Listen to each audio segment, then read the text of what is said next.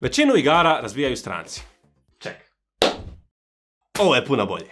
Ljudi moji, evo ispada da ja nisam samo glas bez tijela, a pošto danas nema Josipa u studiju, barem mislim, danas ćemo popričati o najboljim balkanskim igrama. Zato što sam ja danas glavni. Kada pričamo o igrama, to su uvijek sve neki Amerikanci, e, Japanci, Slovenci. Da, ispada da nisu samo stranci maheri u igrama, već se nađe i poneki Balkanac. Od klasičnih pucačina, multiplayer senzacija i svjetskih brendova, danas vam nabrajamo najbolje igre sa Balkana. Hvala Jimmyu na ideji za video, a i svima vama koji ste predlagali igre u našem community tabu. A sada, i nemate pojma koliko ovo čekam reći, Dejo, pusti neke mjuze, balkanske mjuze, ali ne previše balkanske, i vrti intro.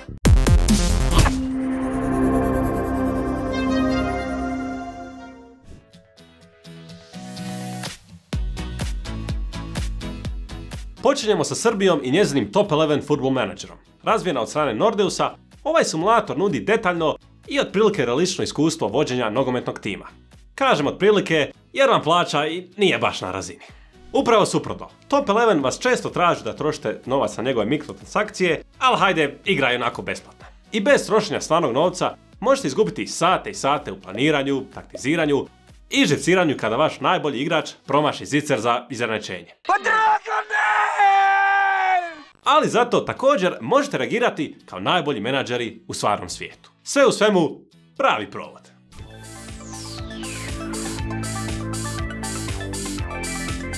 Idemo malo zapadnije u Bosnu i Hercegovinu, a njezin predstavnik je Lifespace Traveler.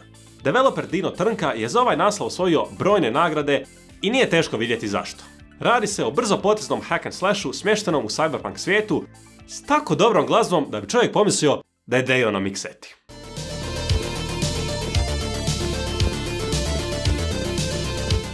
Očekuje vas brza borba s mnogo zaplata, prepreka i vrsta neprijatelja. Nije sad Elden Ring, ali s obzirom da se radi o trudu i radu jednog i jedinog čovjeka, nema se šta zamjeriti. Redakcija skida kapu. Kad bi mi je dali.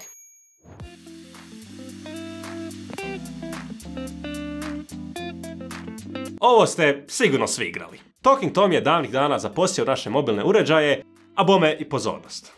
Ova slovenska igra je vrlo jednostavna i primarno namjenjena djeci i praktički je neka vrsta Simsa, samo s mačkama.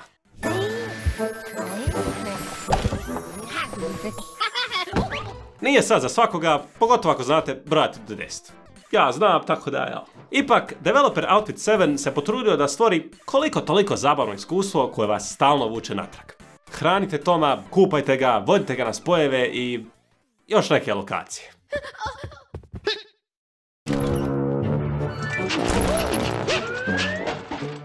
Do- dobro, možda nije potpuno za djecu. Ali kako god bilo, sigurno vam mlađi rođak ili brat ima instalirano, pa ako ste nostalgični, samo naprijed.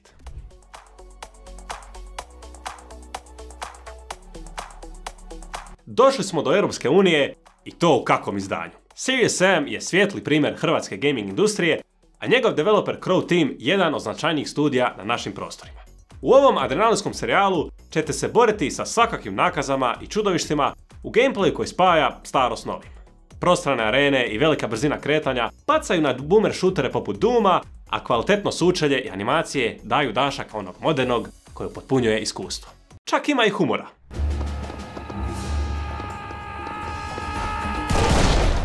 Ah, put a sock in it.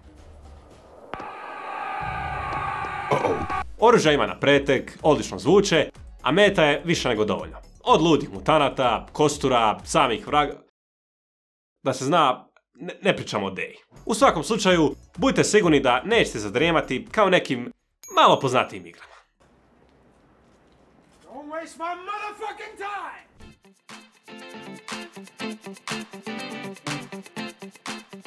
Sljedeći primjer nam također dolazi iz Srbije, a riječ je o staromodnom RPG-u iz izometrične perspektive. Developer Stigen Software je stvorio vrlo zanimljivi postapokaliptični svijet u kojem je čovječanstvo nakon nuklearnog rata dovedeno do ruba istrebljenja, a njezini ostaci žive u podzemnim tunelima i skloništima. Kontrolirate lika koji se nađe usred žestokih sukoba, mnogobrojnih podzemnih grupa i frakcija, a jedini način za preživljavanje je prilagođavanje okruženju i dobra doza vruće golova. Guns, melee weaponry, traps, grenades, improvised tasers, and crossbows are just some of the tools available to you. Osim toga, Underreal nudi mnogo vještina, magičnih moći i ostalih sustava koji će sigurno malo začiniti ovu inače vrlo ispoliranu vrstu svijeta. Prilično je težak, pogotovo ako niste navikli na ovu vrstu igre, ali s obzirom koliko ga je Baldur's Gate 3 popularizirao, mislim da nećete imati previše problema. Your money is now being used on the streets to buy both types of crack.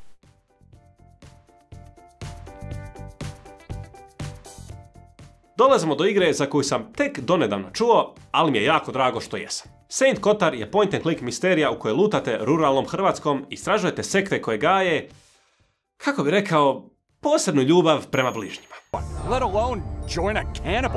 Sveti Kotar debelo podsjeća na Silent Hill u vizualima, ali bome i gameplayu, koji, iako je malo lagan što se tiče interaktivnosti i same sadržajnosti, i dalje služi odličnom detektivskom thrilleru. U svojoj potrazi za nestalim rođakom ćete rješavati zagonetke, postavljati pitanja i lutati kroz mračne šume i tamne doline.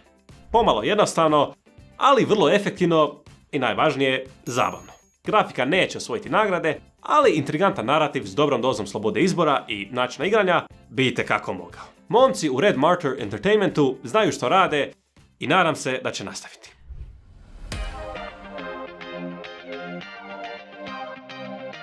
Evo najodvratnije igre na listi.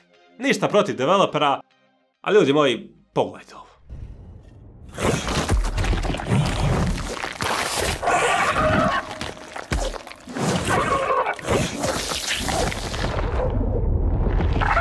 Brother, Skorn nam dolazi iz Srbije s ljubavlju. Ako ste u stanju nešto ovako voljeti. Odvratan je u svakom smislu riječi, ali i dalje zaslužuje vašu pozornost. Ovaj horor vas stavlja u istinski unikatan svijet bez imalo konteksta ili preznanja, te vas tjera da sami nađete odgovore i preživite.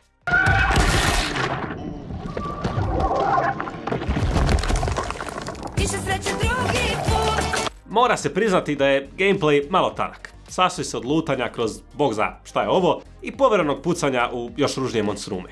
Nije za svakoga, ali ako imate otvoren um i vrlo jak želudac, mogao bi biti pravi provod. Ebb Softwareu svaka čast, ali mislim da vašem glavnom dizajneru ne bi škodilo malo psihoterapije. Samo mrvicu.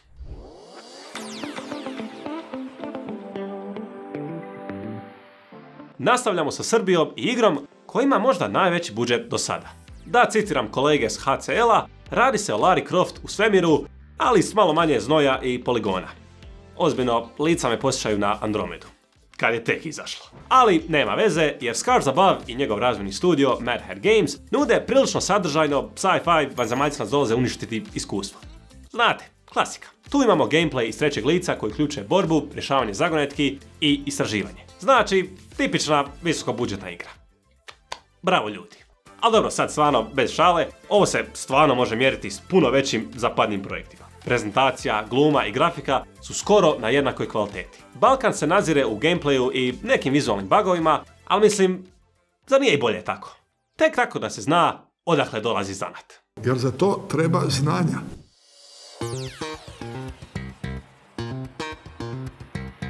Vraćamo se Slovencima s legendarnom igrom, Mordhau.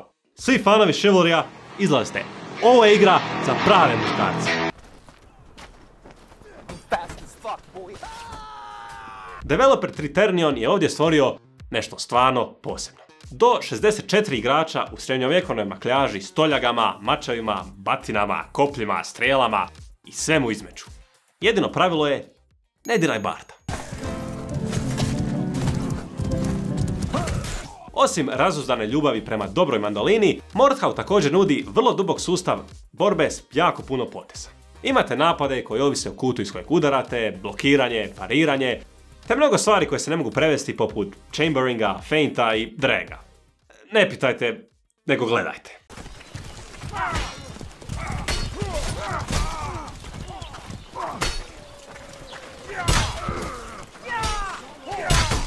Vrlo zabavna igra, ali također vrlo teška za naučiti. Tako da ulazite na vlastitu odgovornost.